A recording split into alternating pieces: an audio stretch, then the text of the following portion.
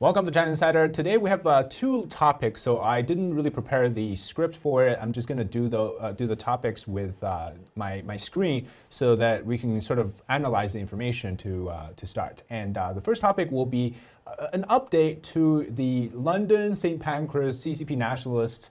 And you know, as everybody's trying to kind of move on now, they're still stuck in that original event and uh, one of them has released a video. So we'll go over that. And then the second part, if you want to skip to this time code right here, uh, it will take you to the Evergrande real estate crisis in China. So if you want to watch either of them or skip ahead, feel free to do so. And I'll leave the time code in the description as well. So she has come out with a new video, and this one was released on the Chinese social media called Little Red Book. And uh, this is where she once again plays the victim and claims that Brendan Kavanagh is the person that's really bad. And apparently, that Brendan Kavanagh is the reason why the situation is blowing over. And there, obviously, you know, this is a Chinese social media app, so the viewership is targeted for domestic Chinese people. And he's trying, to, she's trying to appeal to them as if she is the victim. Now, clearly, this has backfired because even in China, a lot of them don't really, they're criticizing this group of um, CCP nationalists as, uh, you know, for overreacting on something so, so, so uh, bizarre, right? Just the way their attitudes, their actions, their words. You know, that one guy that was shouting. So, anyways, I thought we should analyze this three minute video and find out what she's trying to tell the Chinese people. Uh, even though the whole truth has been repeatedly talked about all, you know, all through last week. So I'm not going to spend time on that because everybody knows what exactly happened. And Dr. K, Brendan Kavanagh, is clearly in the right. And I mean, his tone, his manners, and just the reactions, even I think some of the really funny interactions he had against the uh, CCP thugs, I thought was very appropriate. But the reason why they're continuing to do this, again, just to generate some level of sympathy within the Chinese uh, social media to appear like they're the ones who are being victimized. So let's uh, let's watch this. 责当事人孟英，因为最近的事情占用了公共资源，我深感愧疚。作为一个在外打拼的中国人， 在这件事情的处理上，我确实做的不够好，没能给咱们长脸，还咬牙添堵了，真的非常抱歉。首先，我承认我怂过，虽然大家一直鼓励我不要逃避，要讲出真相，但我不能理解的是，为什么要长他人志气，灭自己威风？一个在海外拥有数百万粉丝，具备极大影响力和话语权，靠恶意碰瓷、民族歧视、制造对立等手段。She shouldn't have done this to ruin the image, but she's not apologizing to everyone else. She's actually apologizing to the people in China. Um, and then she goes on to say that, oh, you know, I, I, I, was told to speak the truth. I shouldn't be afraid, but, you know, I, I got scared, blah, blah, blah. She's making it sound like she's the one that's actually being victimized. 制造对立等手段，无下限炒作来博人眼球，赚取关注度和流量，进而实现盈利目标的大 V。为什么会被他们拥戴是刚 And then she goes on to say that, oh, why would somebody like Dr. K with 200 million, uh, sorry, 2 million subscribers, you know, this, this famous person uh, who apparently uses virality and just, you know, these contentions, conflict points to generate viewership. Why is everyone calling him a pianist? Well, I mean, if you've been following Dr. K for a while, you understand that before this incident, his focus of the channel was really about music. It was about spontaneous interactions with the crowd in a public setting with the piano. And if you ever watch more than one of his videos, you realize that sometimes these type of things happen in public. Uh, whether for malicious reasons or not, some you know whether that's like security guards, mall cops, or anybody else that comes and you know they, they try to get him to leave or whatnot. His reactions is always very non-confrontational. Um, so I really don't understand where this feeling that they're trying to create the, the image of an aggressor in Dr. K comes from. But you know, they always twist and bend reality. And uh, so let's keep watching it. 而我，一个人微言轻、身在他乡举目无亲的女孩子，却要被他们人肉、网暴、谩骂，甚至波及工作。其次，我承认我是在英国学习、工作和生活，虽然我不是男儿身，但却也志在四方。但我不能理解的是， 我一位中国籍，远走他乡，勤恳工作，想要用自己的努力去证明自己，去改变自己，去尝试帮助更多人改变命运。为什么也能变成他们口中的英国人和崇洋媚外的代表？当然，我也承认我的英。Okay, so here she's basically talking about how. Uh, you know, I'm trying so hard. I'm a Chinese person living abroad. I'm, I'm even though I'm not a, a guy, I'm still trying really hard. My aspirations is, uh, you know, my driving force to be a hardworking person. And how, why are they painting me as this, you know, British person? Blah blah blah blah.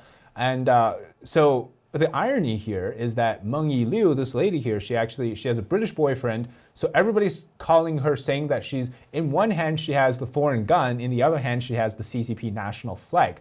So it's like, are you hypocritical or something? What are you trying to do? Are you really like? Here's the thing I have about this whole nationalism uh, situation, right? If you really think you're preaching what you believe in, which is CCP nationalism, then don't do this outside of China. Do this in China if that's what you think is the proper way of life, so to speak. Uh, but if you're already living in the UK or anywhere else, that's, you know, there's freedom of speech, freedom of religion, freedom of association, the rights to protest, the rights to uh, enjoy life as humans should do, then do not be hypocritical and still speak on behalf of the CCP. And then come out and play the victim card because that doesn't work. Here's the reason why. Like I said in my previous videos, the stuff that you're talking about right now, can you physically do that inside China's border boundaries and face no consequences? No, the answer is clearly a no, because if you said the same things that you just said in this video in China about the Chinese government, uh, or, you know, in, in that sense, the your demise would be like you're, you're either disappeared or you get sentenced to jail or you know, you're, you're publicly outlawed, socially outlawed, in fact, the social credit system. Uh, all of these are the consequences you will face. But if you do that in the UK, what's going to happen? You make a video, everyone laughs at you, and then they move on. Nobody is going, the, the, the federal government of the United Kingdom is not going to come for you, right? That's the difference here. And it's, it's such an ironic logic that these people put out because their physical bodies are in a free country and they're able to exercise these rights, and yet they still speak on behalf of a genocide regime and an authoritarian, dictatorial regime, in fact. Um, but they don't realize this, right? This is, this is not something that is processed in the brains because they've been propagandized. The CCP has done so much work to brainwash people like them. Anyways, let's continue. 当然，我也承认我的英语表达不够地道。虽然我在英国工作生活多年，但我不能理解的是，就像善意的人们会提醒你普通话发音不够标准，乐意帮你纠正一样，为什么面对 please、thanks 客客气气的沟通， 就因为英文沟通的表达歧义，被对方倚仗母语优势不直接回答我的问题，把我绕入语言陷阱，用反复套路他人的 not a not 这套制造对立，进而引发冲突。Okay, so she basically says that she blames Dr. K for using English as a language trap, as a grammar trap, to confuse her and to lead her to uh, appear like she is, uh, you know, the aggressive one. Now, if you watch the original live stream, you notice that she was politely, uh, Dr. K and her, they were both having a civil interaction to talk about the, the so-called not allowed or non-disclosure part, right? But you shouldn't be blaming Dr. K for the aftermath because guess who was the one that actually escalated the situation? It was your good old friend Newton Leng. Okay, now speaking of Newton Leng, I just learned about this today. I'm not sure how long this has been happening, but um, Newton has done something funny. He has on his Instagram, I just learned about this, started to sell shirts with uh, the prints of Don't Touch Her on them. Now, how shameless do you have to be to do this um, Okay, so if you click into his Shopify page, you can actually get this in, in both a white tee as well as in a black tee, okay? Uh, and then the reason why I know this is his site is because if you click on this Instagram icon at the bottom of it, you can actually go back and it will show you Newton's page again. Wow, how convenient. Imagine you're trying, you're, you're literally trying to profit off of like your own doings. That's hilarious. But anyways, just sidetracked a little bit, but I thought that was funny because this person here is blaming Dr. K when in fact, the person that caused this thing to blow up was your friend. Do not touch her. Mr. Do not touch her, right? Okay, so Anyway，so she then goes on to talk about how, oh, this isn't my problem. 我一无是处的就自取。在此，我也承认我不是专业的法律人士。虽然我并没有主张超出个人范畴的权利，但我不能理解的是，就像每个人都有隐私权一样，且对方是获利性质的商业直播场景下，在对方多次把镜头转向我们，我只是请求对方，如果不小心拍到我们的 Did you film us in your camera？是否可以把我们的画面马赛克掉或者删掉？就变成了他们口中我用中国的肖像保护权要求英国人遵守。最后，我还想说，谁都想要体面得体，但他不能成为别人欺负我们的枷锁。我们常说“人敬我一尺，我敬人一丈”，尊重和以礼相待是谈成功的前提。我相信大家无论何时何地，哪怕是在海外，当你碰到类似我们这种已经礼貌拒绝邀请，却遭受对方 British girl is more fun 调侃的时候，明知我们是中国人，依然对着镜头直播说 There are a lot of Japanese people here. We're here with Japanese TV crew filming about public p a n So she again talks about how Dr. K apparently confused them with a Japanese TV crew. Now, if you go on to Brendan Kavanagh's page, he actually made a video about this, saying how he was sincerely uh, sorry for uh, mixing and confusing the two because they had been prior in that same location. So they thought that the, this group of people were also Japanese. Um, and so for her to continue to say that, this is again just trying to force a racial point onto apparently that Dr. K is a racist because he keeps confusing them with the Japanese.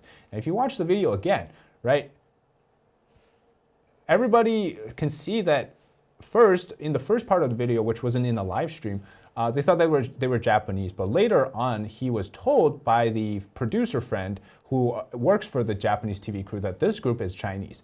From that point on, he no longer says that they're Chinese, uh, they're Japanese. They said he, he calls them Chinese, and, and he says they're are they from China. So once he learned who they are, that whole racist against Chinese, Japanese thing no longer is an uh, talking point. So I don't know why she keeps saying that, but again, you know, twisting the reality. 对方百般刁难、故意碰瓷，甚至未经允许来触摸我们的时候，在保障人身安全的前提下，都能够从容反击。更何况，保护女性，Don't touch her，不是他们口中的丢人现眼。总之，这个事情我处理的确实没有那么好，让大家失望了。大家基于事实、公正合理的批评和质疑，我都接受。我也相信理性对话和尊重多元文化是解决任何争议的前提。我也请求所有关心此事的朋友客观理性评价，勿让偏见和误会进一步加剧矛盾。谢谢大家。All right, so basically in this video, um, which she originally had another one, but she deleted that. Now she posted this. The language, if you watch the video, I'll link it in the description so you can check it out, is more professional, is it, it's more uh, apologetic. I think she probably had somebody who knows a little bit about public relations, PR work, to help her write this. Uh, it comes with, I don't know if the subtitles were added by herself or by somebody else, but the translations in both English and Chinese seem to mean uh, similar tones and manners in that she is sorry, apparently, for representing or misrepresenting the nationalist feelings of the Chinese people. And uh, in my view, okay, out of all these CCP nationalists, I think the one that actually needs to come out and apologize is Newton Leng our Mr. Do Not Touch Her here. But uh, clearly, he's too busy profiting off of the popularity uh, and the attention. And this also comes after this lady here. She said she's being like, you know, threatened. She's fearing for her life. Now, obviously, people should probably, uh, you know, like she she's still a person, right? Even if she stands on the wrong side, she like you shouldn't be threatening her life. But at the same time, she's the one that I don't know why she keeps doing this. You know, just let the just let it die down, right? You're done. Just just let it go. Uh, but she's been like kind of crying out for help, saying that she hasn't left her house in a few days, uh, blah blah blah blah.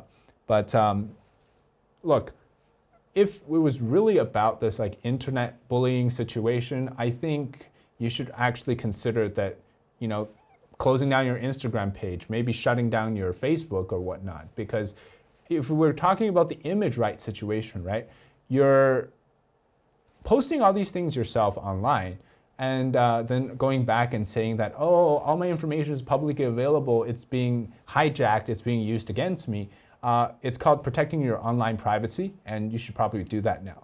Um, another thing is, right, I, these people, they're brainwashed. It's pretty sad. And, but at the end of the day, you have to realize that what they're trying to do now, after the initial situation, isn't just about apologizing for their behaviors, but they're actually trying to use this for more uh, attention, in, especially in the mainland.